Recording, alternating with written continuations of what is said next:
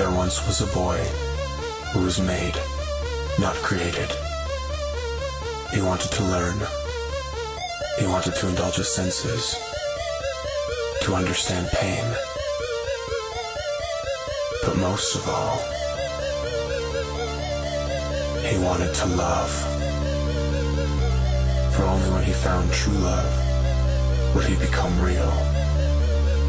He traveled far and long, but love eluded him.